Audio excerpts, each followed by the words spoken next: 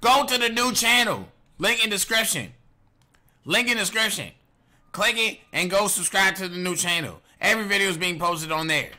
Click the link in description.